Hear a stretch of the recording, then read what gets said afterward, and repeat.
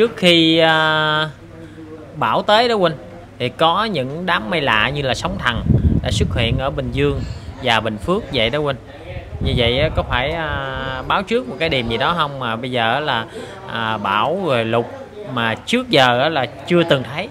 Nó ngập kêu bằng đó là mấy cái nóc nhà. Vậy là như thế nào thì cái này là nói cho tính cho cho Phú nghe cái câu như vậy. Những cái mà xuất hiện nó như vậy là mẹ đã tạo hóa ra mà để cho con trẻ trông thấy cái cảnh đó mà gán lo mà tu hiền cho mau lẹ chút xíu vào trong cái cảnh đó. Bởi vì mẹ mới làm sao mẹ đưa cái cảnh đó để cho dân chúng mà để nhìn biết. Bởi vì mẹ thấy dân chúng con của mẹ quá ít ôi tu hiền. Người tu thì ít mà người giữ thì quá nhiều. Thì mẹ mới ra những cái đó mà để cho con trẻ mà coi những cái đó mà biết lo biết sợ mới biết quay đầu mình trở lại mà lo tu hiền. Vậy là vận chuyển hả? Đúng năm thìn có người chủ dậu xuất hiện mà không biết mà đúng là năm thìn phải ông ông sư minh tệ là tuổi dậu không? Ông sinh năm 1981 ông tuổi tăng dậu. Năm nay ông 44 tuổi nè ông tuổi tăng dậu nè. Mà đúng năm thìn tuổi dậu xuất hiện không? Ừ.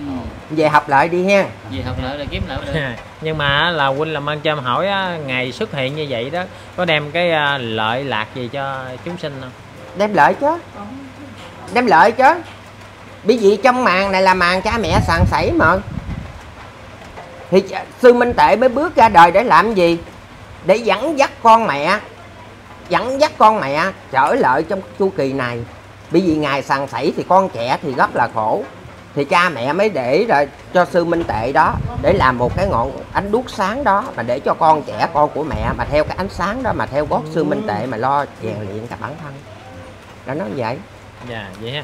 Thì ờ, thưa huynh tại sao mà à, sư minh Tệ á, ờ, xuất hiện để dẫn dắt con cha con mẹ đó sao? Tự à, được à, không được bao lâu thì tại sao sư lại ẩn rồi huynh hết nhiệm vụ.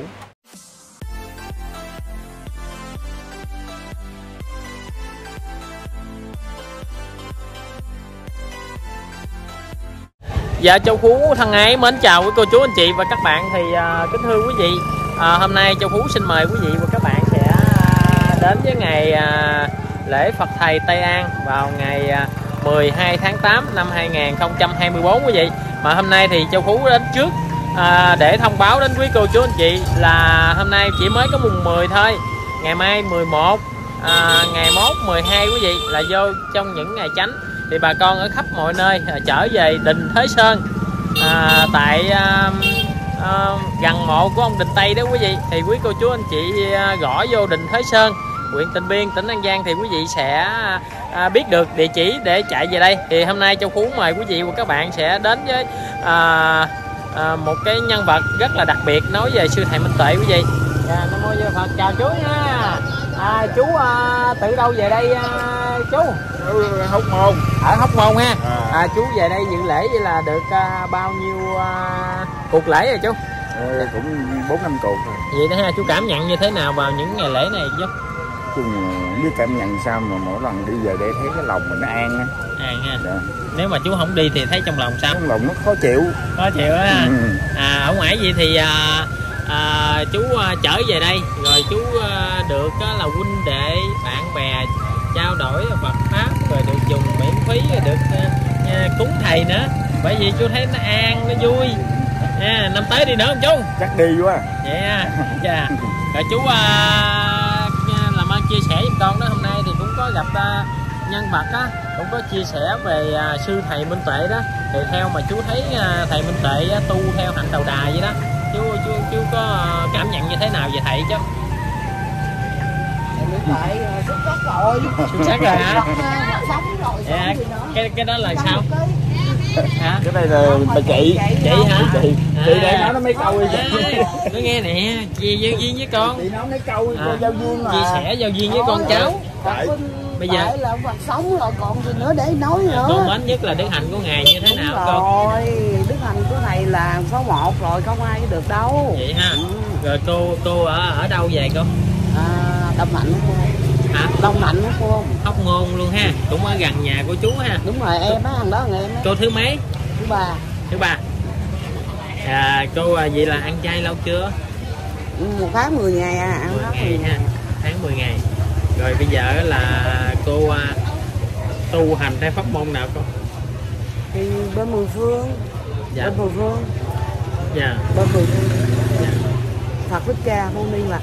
À, chơi bên bổn sư thích ca mâu ni phật rồi à, à, ngày xưa đó cô khi mà cô à, à, cũng như là còn à, mưu sinh với cuộc sống đó ngoài đời đó à, lý do như thế nào? Bây giờ con thấy cô á, là cắt tóc ngắn nè ha, rồi bận đồ đạo để mà đi lễ có đầu thể chia đạo thôi các ống ống là tháng 7 mùng 1 tháng 7 á, là lễ vu lan là viết tóc thôi chứ cũng có còn đời còn đời còn đạo. Năm nào cũng vậy nha ha là xuống tóc xuống tóc vậy mình cầu nguyện cho cái gì không Ừ, gia đình mình con cái mình bình an. Dạ. Vậy thôi. Dạ. Như vậy thì à, thấy à, gia đạo gì? Khi xuống tóc vậy thấy bình thấy an không con? Ừ, thì thấy con cái à, cũng quan hiền đó. Bữa nào cũng quan hiền đó đó. Dạ. Ừ, ngày kiếm hai bữa cơm là đủ rồi. Dạ. Rồi khi mà cô về lễ à, của đức phật thầy à, tây an gì đó rồi cô cảm nhận như thế nào về cuộc lễ này? Thì à, mình cứ theo chân à, thầy mình đi thôi. Dạ. Đến ngày như ngày dỗ thì mình về mình đốt nhang cầu nguyện cho gia đạo mình thôi dạ vậy ha mình cầu vậy là mình cầu như thế nào con? Mình vô trong mình cầu như thế nào? Thì cầu nguyện cho cụ quyền thân tổ mình nhiều đời nhiều kiếp. Ừ. rồi con cái của mình là làm ăn ngày thì kiếm được hai bữa cơm thôi. Dạ. Vậy thôi. Dạ rồi con cảm ơn cô cô thứ mấy cô thứ ba. Thứ ba ha rồi chúc cô ba sức khỏe bình an nha. Rồi cảm ơn. Dạ, Nam Mô Di Đà Phật. Thì kính thưa quý cô chú anh chị. À, Hôm nay thì à, Châu Phú chỉ là à, trao đổi, chia sẻ về à, bà con ở những cái nơi phương xa cũng đã trở về đây Rất là nhiều luôn quý vị. À, Để cảm à, mến và tưởng nhớ đến à, cái công hạnh à, của Đức Phật Thầy Tây An đã trở về vùng bảy núi này để độ cho tất cả các loài thú quý vị và phiên à, bà con tu hiền quý vị. Thì à, hôm nay đó là châu phú mời quý vị và các bạn sẽ đến với là ở nơi này là cái điểm mà cô Năm Thảo ở núi Cấm mà châu phú đi đến à, thường hay là quay à, cô đó quý vị và hỗ trợ à, để đãi cho bà con ăn miễn phí đó. Thì hôm nay à, cô Năm Thảo ở núi Cấm cũng có về đây là đãi miễn phí nha quý cô chú anh chị. Đó đây. Là để nhí ha. Đây đó. Chào sư nhí nha chào chào cô chú anh chị dân nha. Đây quá đông luôn quý vị ơi. Về ngày lễ Phật thầy Tây An hy vọng quý vị à, à, có thể à, trở về à, vào ngày mai là 11 tháng 8 2024 và ngày mốt 12 tháng 8 nha quý vị. Quá vui luôn rồi. Rồi chào. Chào chị. Chị từ đâu về đây chị? À, ở Sóc Trăng. Ở Sóc Trăng ha. À, Sóc Trăng này lên đây à, phụ à, làm công quả mà cho cô Năm Thảo. Ờ vậy đó ha. Rồi bữa nay ta thấy bà con đi đông không? Đồng ừ, rồi chị tới tính công quả bao nhiêu ngày? Nào gọi như vậy vậy ha. Rồi thấy vui không? Rồi năm tới làm nữa không? À, còn sức khỏe nếu mà còn mạnh khỏe à, thì đi làm. Vậy ha. À, rồi chị có vô cúng thầy chưa? Rồi qua rồi. Cúng cúng thầy rồi luôn rồi. À, đợi Dạ. qua. Mình cúng mình cầu nguyện ờ, chuyện gì á vậy nên cho mạnh khỏe. Mạnh khỏe bác được bình an. Dạ dạ rồi chị ăn chay lâu chưa? Con trai cũng được chắc cỡ cỡ mười mấy năm hả rồi quý quá ha. À, chị làm ơn cho em hỏi á. À, khi mà em trở về đây đó lúc nãy có ông anh á ổng cũng à, mến mộ à, đức hạnh của thầy minh tệ đó. Theo chị suy nghĩ à, như thế nào về thầy minh tệ ha? À, đức thầy minh tệ là rất là là phục cái tài ông luôn cao siêu luôn á. Tại vì đi đi chung không ngủ rồi ngủ ngồi. Rồi không có được mình ngủ niệm ngủ quạt gió mấy lạnh gì hết.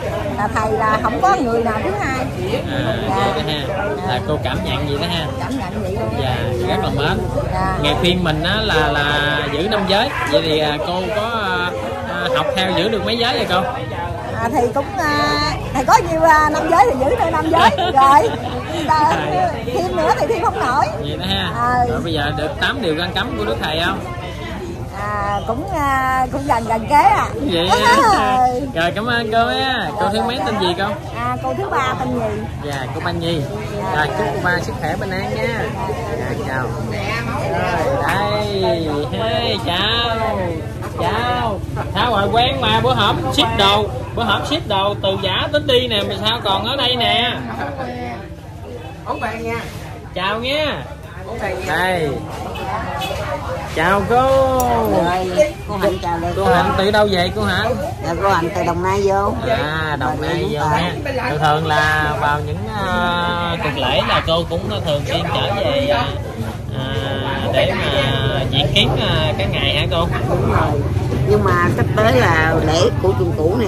Dạ. Rồi coi như là nếu mà con có ra ngoài đó thì cũng gặp nữa thôi. Dạ vậy ha. hội yến diệu trì cung là cô cũng đi nữa hả? Đây chứ. Bây giờ xong ở đây rồi là đi về tây ninh dạ vậy hả cô rồi con cảm ơn lâu cô lắm hạnh. rồi lâu lắm rồi mới gặp lại châu phú á nha. Rồi chúc cô hạnh sức khỏe bình an nha. Rồi cô chúc con cô chúc con tìm được nhiệt mới lạ. Đang dạ. cho người trong và người ngoài đều coi hết. Dạ dạ nam mô di đà phật.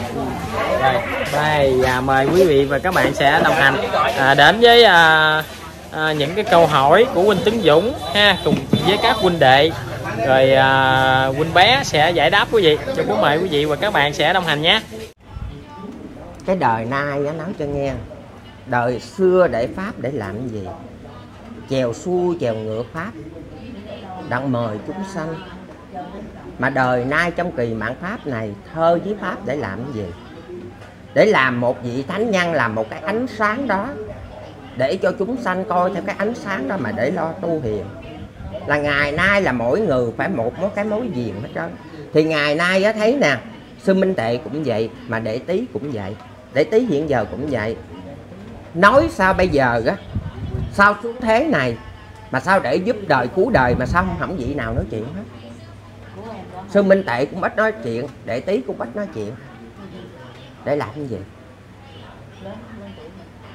Nói đúng cũng nghiệp khẩu mà nói sai cũng nghiệp khẩu. Ừ.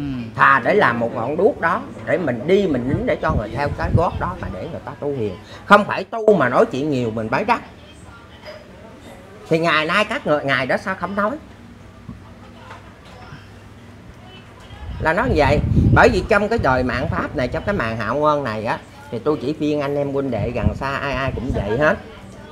Thì thôi gắng lo tu hiền, đặng lo cái mối diền đặng ngày nay đi.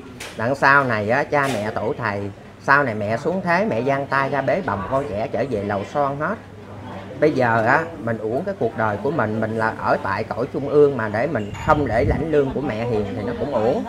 Thì ngày nay mình tu làm sao mình ở cõi trung ương sao thì mai, sao mai kia mốt nội mình về được thì mẹ trả lương cho mình à, đầy đủ hết. Mẹ không bao giờ mẹ thiếu mẹ thiếu công của con trẻ ở trần gian mà làm việc hết trơn á thì ngày nay á, thì bé chỉ phiên anh chị gần xa nào cũng vậy. Nếu mà mình có trao dồi chăm giảng của thầy cũng vậy chăm sáu cuốn giáo lý cũng vậy mình đừng đem một cái dòng thơ của thầy ra mà để ra một cái cơ gì hết.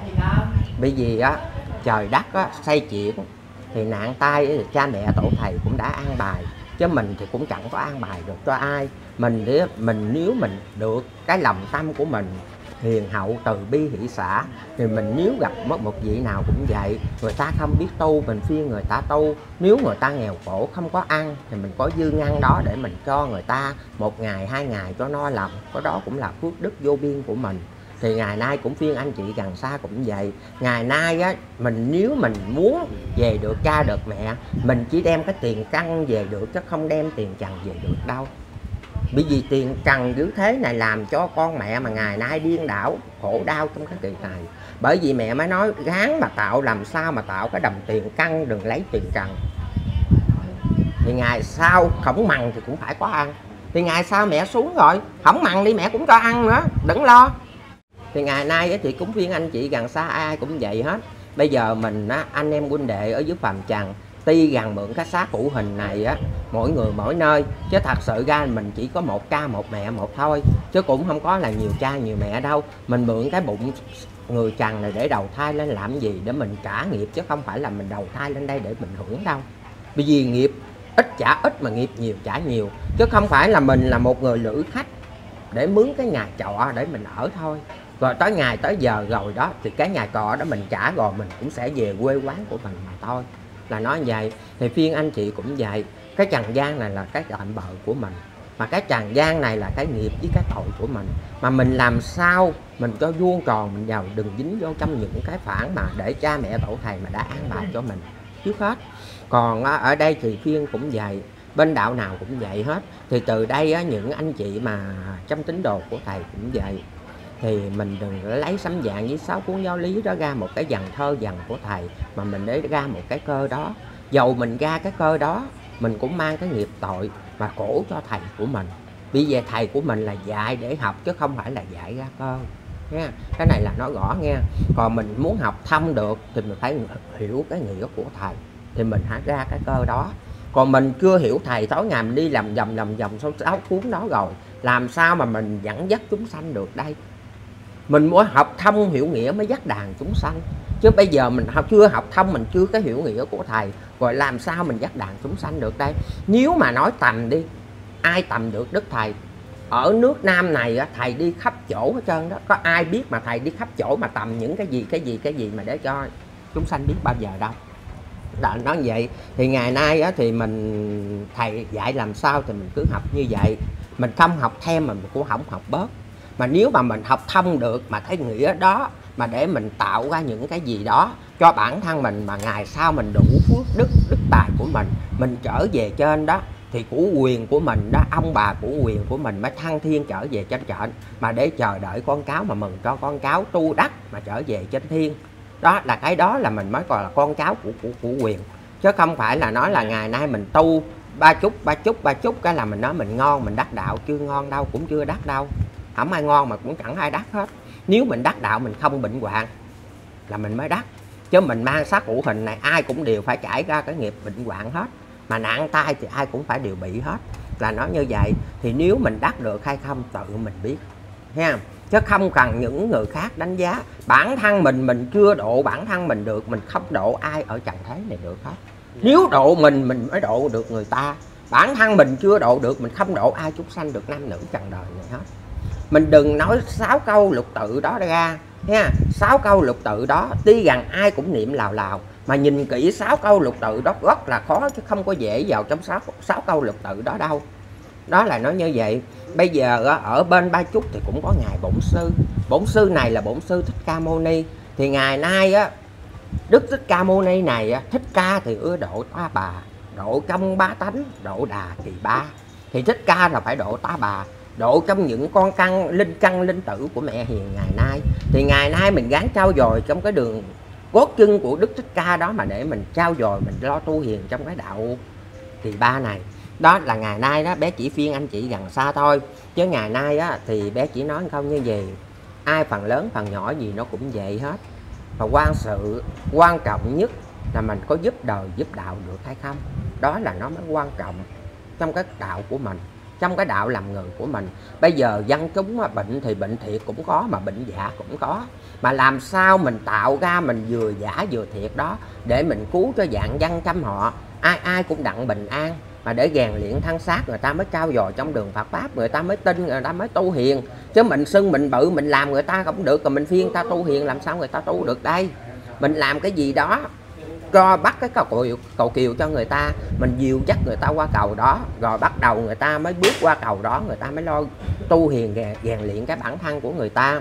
Chứ bây giờ tôi khuyên câu như vậy mình học thì học trong giáo lý của thầy mà sấm giảng của thầy mình học để mình thuộc lòng mà để mình tầm trong cái ý của thầy có cái ý của thầy nó làm sao. Bởi vì hồi trước có thầy mới nói câu như vậy thầy á thầy trở về bên hòa hảo bên làng hòa hảo để làm gì? Bởi vì trong cái làng hòa hảo, ít người tu mà bệnh thì rất nhiều. Thầy mới trở về đó mà để tạo ra cái đạo hòa hảo này, để cho dân chúng đó mà coi theo đó mà để lo tu hiền. Mà không ai mà được đặng làm thiền hết trơn, làm sao mà đưa rước dạng dân kỳ này? Đó là nó như vậy, thì viên anh chị gần xa ai cũng vậy. Thì gắng lo mà tu hiện tu nguyện kỳ này đi mà lao chùi cái bản thân rồi bây giờ ra cho phú với tấn dũng muốn hỏi bên đạo thầy Dạ. sao nữa? À, huynh làm ơn cho em hỏi á là trước khi à, bão tới đó huynh thì có những đám mây lạ như là sóng thần đã xuất hiện ở Bình Dương và Bình Phước vậy đó huynh như vậy có phải à, báo trước một cái điểm gì đó không? Mà bây giờ là à, bão rồi lụt mà trước giờ là chưa từng thấy nó ngập, kêu bằng nó là mấy cái nóc nhà. Như vậy là như thế nào? Cái này là nói cho tấn cho cho cuốn nghe cái câu như vậy. Những cái mà xuất hiện nó như vậy là mẹ đã tạo hóa ra mà để cho con trẻ trông thấy cái cảnh đó. Mà gán lo mà tu hiền cho mau lẹ chút xíu vào trong cái cảnh đó. Bởi vì mẹ mới làm sao mẹ đưa cái cảnh đó để cho dân chúng mà để nhìn biết. Bởi vì mẹ thấy dân chúng con của mẹ quá ít ôi tu hiền. Người tu thì ít mà người giữ thì quá nhiều, thì mẹ mới ra những cái đó mà để cho con trẻ mà coi những cái đó mà biết lo, biết sợ, mới biết quay đầu mình trở lại mà lo tu hiền. Thì cái đó là mẹ chỉ răng đe con trẻ trần gian mẹ lúc nào mẹ cũng muốn cứu con trẻ trần gian chứ không lúc nào mà mẹ muốn giết con trẻ trần gian bao giờ hết. Bởi vì những cái cơ gì cũng vậy, thầy cũng vậy mà mẹ cũng vậy. Lúc nào hả, trong cái cơ đó phải có găng đe chúng sanh hết. Để chúng sanh găng đe chúng sanh để làm gì? Găng đe chúng sanh cho chúng sanh biết cái đó là cái gì cái gì, mình chết về bản nào, mình phải nghiệp vào cái bản nào, mình làm tội vào cái bản nào. Để cho chúng sanh đó mà để coi trong cái, những cái đó đó mà lo sợ, mà lo tu hiền. Là cái đó là mẹ răng đe, chứ mẹ không phải là mẹ giết con. Mẹ lúc nào cũng muốn cứu con, chứ mẹ không bao giờ mẹ muốn giết con. Thì những cái tạo hình dữ tợn như vậy, rồi bây giờ cháu phú thấy như vậy, cháu phú trong lòng cháu phú cũng vẫn lo sợ vậy. Chứ đâu phải không lo mà phải cháu phú lo sợ rằng nào cháu phú muốn tu nhiều chừng nấy không? Dạ vậy là răng đe để cho bà con tu Đúng. ha. Bởi vì mẹ đã mượn kim thăng mà qua mấy lớp màng rồi. Mà ngài đem mẹ khe khẽ mà dạy con trẻ mà chẳng ai nghe. Thì ngày nay phải xuất hiện những cái gì đó cho con trẻ thấy những cái gì đó mà mới lo sợ mới biết lo lường mới mới trao dồi con đường Phật pháp. Nếu mà không găng đe mà không làm cái gì nó cũng vậy thì dân chúng con trẻ của mẹ không ai tu hết dạ Nam mô di đà phật. Vậy thì huynh bé làm ơn cho em hỏi á là à, tại sao á là sư minh tệ lại xuất hiện vào à, năm thìn này huynh bác ủa hồi nãy là bé đã nói rồi mà. Bé Tại nói là thầy nói đúng năm thìn có người tuổi dậu xuất hiện mà. Vậy là ngày à, Thầy nói trong độ nào Huynh trong khám giảng Huynh chỗ nào? Ủa trời ơi con cháu của, của thầy mà coi sấm giảng mà trong giáo lý mà thầy nói là À. đúng năm thìn. cuối năm thìn sẽ lo vận chuyển hả? Đúng năm thìn có người tuổi dậu xuất hiện mà không biết mà đúng là năm thìn phải không ông sư minh tệ là tuổi dậu không? Ông sinh năm 1981 ông tuổi tăng dậu. Năm nay ông 44 tuổi nè ông tuổi tăng dậu nè. Mà đúng năm thìn tuổi dậu xuất hiện không? Ừ. về học lại đi ha. Gì học lại là kiếm lại được. Nhưng mà là huynh làm ơn cho em hỏi á, ngày xuất hiện như vậy đó có đem cái à, lợi lạc gì cho chúng sinh không? Đem lợi chứ. Đem lợi chứ. Bởi vì trong màn này là màn cha mẹ sàn sảy mà thì sư minh tệ mới bước ra đời để làm gì? Để dẫn dắt con mẹ. Dẫn dắt con mẹ trở lại trong chu kỳ này. Bởi vì ngài sàn sảy thì con trẻ thì rất là khổ. Thì cha mẹ mới để ra cho sư minh tệ đó để làm một cái ngọn ánh đuốc sáng đó mà để cho con trẻ con của mẹ mà theo cái ánh sáng đó mà theo gót sư minh tệ mà lo rèn luyện cả bản thân. Đã nói vậy. Dạ vậy ha. Thì ờ, thưa huynh tại sao mà à, sư minh Tệ á, ờ, xuất hiện để dẫn dắt con cha con mẹ đó sao? Tự à, được à, không được bao lâu thì tại sao sư lại ẩn rồi huynh hết nhiệm vụ. Vậy là hết nhiệm vụ huynh thì cái số sư minh tệ đó là xuất hiện 6 sáu niên thì đúng 6 niên đó thì sư minh tệ hết nhiệm vụ. Là nói vậy thôi. Vậy đó ha. Bây giờ hỏi ờ, cho phú nè như đức bổn sư cũng một nhiệm vụ không? Dạ. Phải đức bổn sư cũng một nhiệm vụ không đức bạc chùm cũng phải một nhiệm vụ không? Sư giải bán phai cũng một nhiệm vụ không? Đức phật tại tây an cũng phải nhiệm vụ không? Đức quỳnh phú sổ cũng phải nhiệm vụ không? Đúng Dạ. niên đúng khắc nhiệm vụ đó là người ta sẽ rút. À vậy ha. Vậy đúng thì niên đúng khắc. vậy thì anh làm ơn cho em hỏi nếu mà sư minh tuệ ẩn như vậy đó ngày còn xuất hiện nữa hay không? Còn. Cũng còn ha xuất hiện nếu sư minh tệ xuất hiện trong chu kỳ này là trong cái màn thánh đức.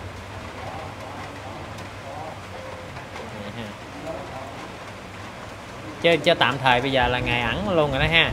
Nói chung ra ẩn thì cũng chưa ẩn mà đi thất thực cũng chưa cho ra thất thực bởi vì tới cái niên đó 6 năm đó thì bổn phận sư minh tệ phải dừng chân nơi đó. Dạ Là- cái gì cũng phải có cái cảnh dừng chân. Bây giờ như đức thầy mượn năm kim thăng vị nào cũng phải dừng chân không? Dạ. Thì mình coi theo đó đi mình biết. Ha. phải từng lớp màn phải từng cái lớp màn cũng như là mỗi vị mỗi cái lớp mỗi cái màn thì trong cái tuồng hát đó thì mỗi màn mỗi lớp đó thì hát trong giữa tuồng đó thì tuồng đó nó sẽ giảng. Dạ. Huynh à, làm ơn cho em hỏi á bây giờ á, khi sư minh tệ ẩn rồi thì à, bà con gặp à, khổ nạn khổ ách quá đó.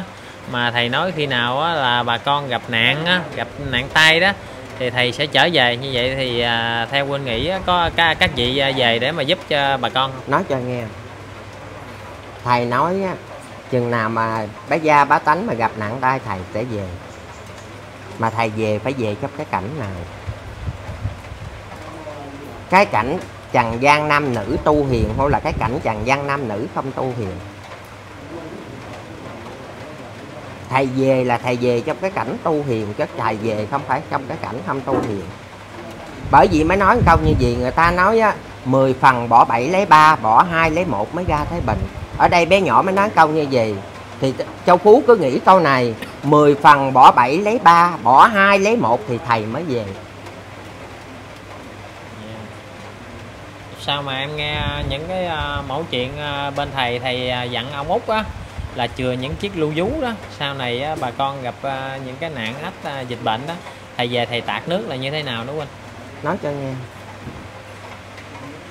Trên đời này trên cái đời này trăm họ dạng dân trăm họ ai ai cũng đều bắt cứ. Người tu cũng đều bị dịch mà người không tu cũng đều bị dịch. Nha.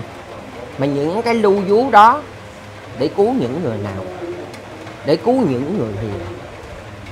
Bây giờ cái lưu vú đó mà những người không hiền mà lại lưu vú đó uống cũng không hết. Chứ phải lưu vú của thầy mà mấy người không hiền mà lại uống hết đâu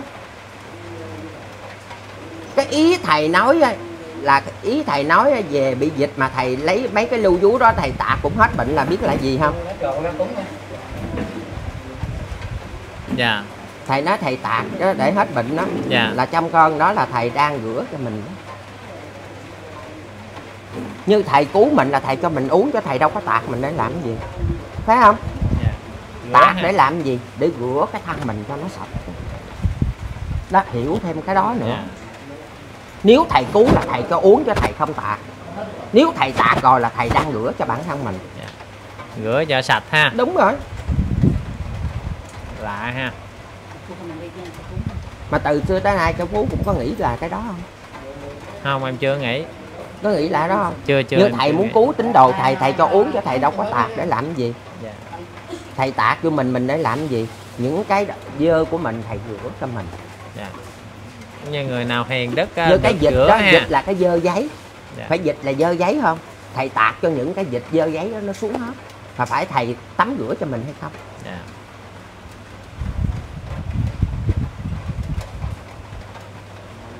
Vậy thì à, có câu à, của thầy em nhớ như là chừng nào xấu nọ quá long. Giờ ông quá long rồi còn à, lòng ông bảy chợ thì ông trở về đó. Bây giờ xấu quá long rồi. Rồi à, Bây giờ ông bảy- trở về là ông nào trở về? Bây giờ ông bảy chợ nào về? Bây giờ kỳ này làm ông bảy chợ về là ông đức phật tại tây an về chứ ai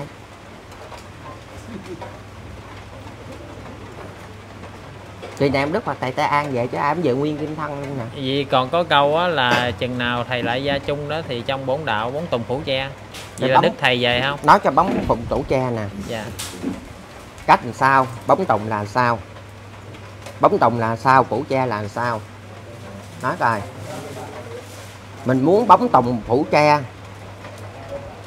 mà mình phải bản thân mình làm sao mà bóng tùng phủ cha theo huynh giải như thế nào? Giờ tôi hỏi trả lời đi tôi giải. Mình muốn làm sao mà bóng tùng phủ cha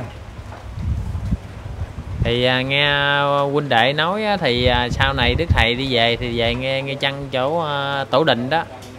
Chắc độ về tổ đình không? Ổng ổng nói ổng không có rảnh ổng về tổ đình.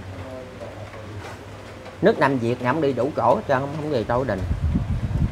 Rồi bóng tùng phủ che lá bóng hùng phủ che là bóng tùng phủ che làm sao che cho ai. Đâu phải ở đời đâu mà phải đi ngoài mưa lấy cây dù mà che được đâu. Đâu phải mình đang đi ngoài mưa mình lấy cây dù mình che là cái bóng bùng cũng che đó hả?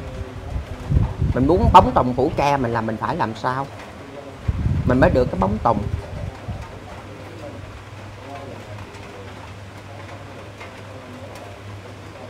bộ mình nói là mình ai cũng là một, có cái bóng tùng phủ che được hết sao? Theo huynh nghĩ bóng tùng là cái gì? Ô bóng tùng là cái gì? Cái gấp bóng tùng là cái gấp gì? Cái gấp bóng tùng là cái gấp gì? Bóng tùng là gấp bồ đề đó. Mà cưng được cái cái hạt bồ đề của mẹ chưa? Cưng được cái hạt bồ đề của mẹ chưa? Để che cái bóng tùng của cưng. Và để cho cái hạt bồ đề cưng nảy mầm. Chừng nào cưng được đi cái bóng tùng đó sẽ phủ che cho cưng cái hạt bồ đề cưng sẽ nảy mầm. Còn cưng mà không được cái bóng cội tùng đó rồi dầu cưng có hạt bồ đề đi nữa cưng dầm mưa giải nắng cưng mọc cũng không nổi nữa. Mấy huynh đệ nói gia thì là nhà. Là là là là là, là. hỏi gia chung. Dạ. Trái chiến gia chung là gia chung gì? Đúng rồi. Gia chung gì? Người ta nói tiếng gia chung là kêu gia chung đó là kêu tín đồ gán mà kính ngưỡng, ngưỡng mà cao dồi trong cụ quyền thất tổ của mình là mới gia chung chứ phật trời không có cái gia chung chỉ có cụ quyền mới có gia chung à, thì chừng nào thầy lại gia chung đó thì trong bổn đạo bóng tùng phủ che là cũng như là em nghĩ là cái giống như một cái à, à, cây tùng cây cây tùng cây bách đó, được cái cái cái à, thầy nói chừng nào thầy trở lại gia chung cái, cái bóng mát đó. Thì là bóng tùng. thầy về đó là để che mát thì cho thầy nói đó cái ý của thầy nói đó là cái bóng tùng đó là ai cũng đều có cha có mẹ có cụ quyền thất tổ tổ tiên mà gán cung phụng ông bà cụ quyền của mình đó là cái bóng tùng của mình đó ha. Dạ. chứ không phải cái bóng tùng mà của đức phật chùm che mình đâu ha. Cái bóng tùng của mình là gia chung đó là gia gia ai không thờ cụ quyền. Phải không? Gia chung có ai không thờ cụ quyền. Mà bây giờ cứ coi trên trần đời đi có người cũng không thờ phật mà cũng không có ai thờ cụ quyền luôn nữa. Bởi thầy mới nói là uh, gia chung có bóng tùng phủ Cha, mà bóng tùng đó là gì? Cái bóng tùng đó là cụ quyền thất tổ cụ quyền của mình. Bảy đời chính kiếp để mình cung phụng làm một người con hiếu thảo mà cúng phật kính phụng của quyền. Là cái đó là cái bóng tùng của mình.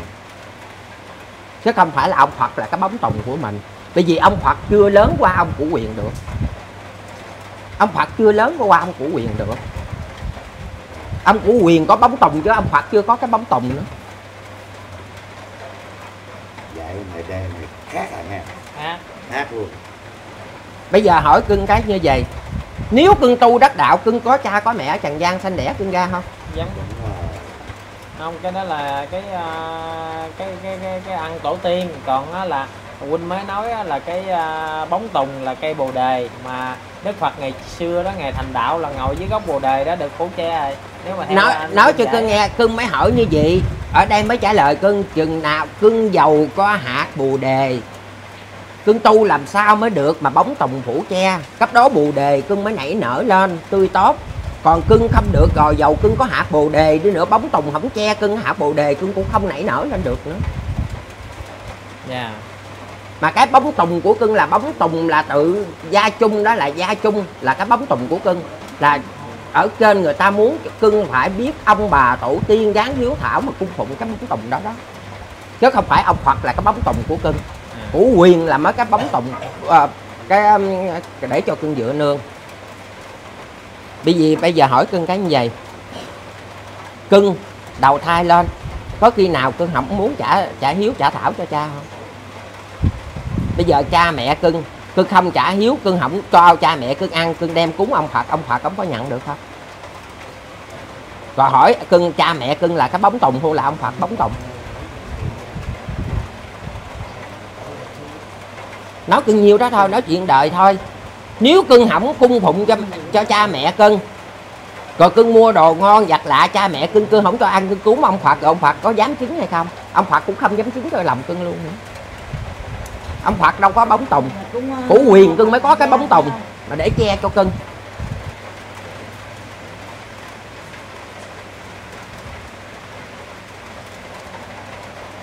Bởi vì mới nói cưng câu như gì cầu đâu cho chẳng cầu xa cầu về thất tổ mà của quyền kề bên. Khỏi cầu phật gắn cầu của quyền kỳ này là cụ mà kỳ này kỳ của quyền nè. Vì á cha mẹ mười phương chư phật, giao về cho củ quyền trăm họ hết. Con cháu ai nấy dạy trong cái chu kỳ này. Màn này, con cháu mà đúng thì ban mà nghịch một cái là của quyền triệt. Triệt hết trong cái chu kỳ này luôn. Con cháu cũng vẫn triệt luôn đó. chứ đừng nói con cháu mà của quyền phải nương. Kỳ này là của quyền triệt hết luôn. Bởi vì cha mẹ mười phương chư phật, đưa cái lệnh xuống cho của quyền trăm họ. Mà để trị cho con cháu thì kỳ này của quyền là cái bóng tùng của mình. Mà cái bóng tùng đó mà cưng không cung phụng bóng tùng, mà cưng để cưng kiếm bóng tùng nào bây giờ? Đâu phải bóng tùng mà mấy ông phật là để làm bóng tùng cho cưng đâu. Của quyền bóng tùng trong gia chung, cưng cưng không lấy mà cưng đi kiếm mấy ông phật cha bóng tùng của cưng. Bởi vì nói cho cưng nghe nè, đức phật đức phật tại tây an tuy rằng ông đắc đạo, ông có cha có mẹ không? Ông cũng vẫn có cha có mẹ mà. Trong cái sự hiếu đạo của ổng ổng cũng vẫn trả tròn cái hiếu đạo của ổng phải ổng là cái bóng tùng không? Rồi ngày nay cưng có cha có mẹ cưng hỏng cái hiếu thảo của cưng rồi cưng muốn bóng tùng ở đâu che cưng? Bởi vì ổng mới nói gia chung thì ai cũng gia chung có, có cái bóng tùng mà cưng không hiểu cái gia chung là cái bóng tùng là ai sao? Gia chung ai không thờ của quyền? Hoặc không thờ chết của quyền ta thờ đó.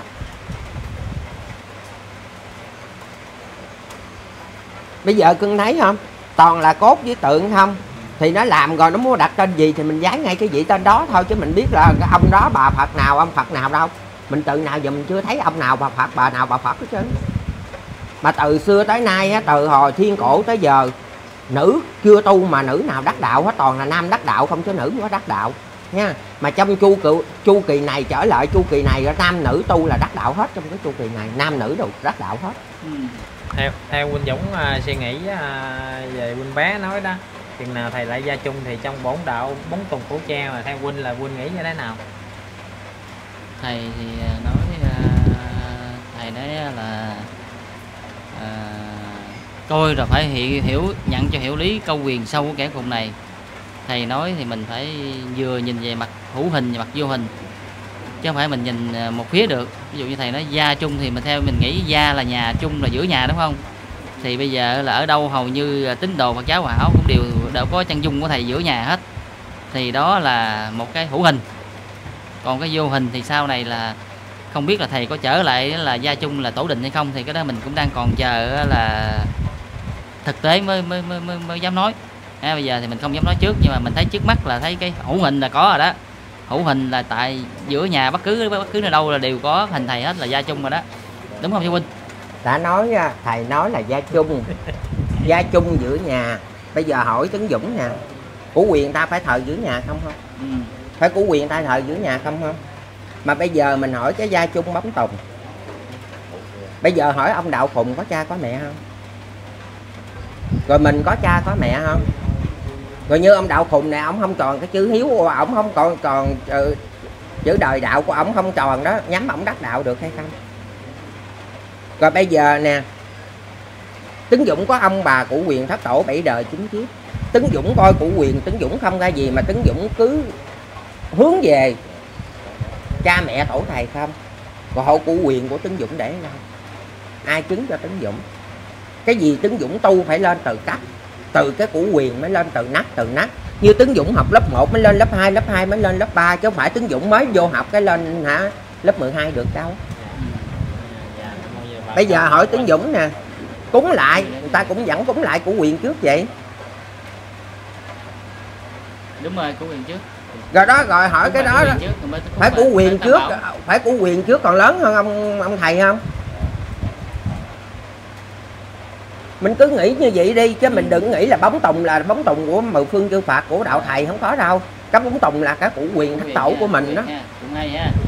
Vậy đó cũng có chí lý đó chứ trời mình nói là trong cái đời cái đạo là mình phải hiểu. Chứ mình đừng ôm cái đó mà mình nói hoài. Mình ôm cái đó mà tối ngày mình đi trong đó vòng vòng vòng vòng. Mình không có hiểu cái nghĩa cái ý của thầy là mình cũng không có giải ra được cái gì cho mình tu hoài tu mãi thì tu cũng nằm lớp 1 là lớp 1 chứ không có lên lớp 2 được. Rồi à, cảm ơn huynh à, à, qua đây thì huynh cũng làm ăn chăm hỏi á. Lúc à, sớm huynh có nhắc về à, đệ tí á thì à, em em nhìn thấy á, là đệ tí á, là à, không có đi à, khắc thực giống như thầy Minh Tuệ. Đệ tí chỉ là ở trong giường ở sau giường mà để à, à, như là bà ở ngoài trời nắng trời mưa.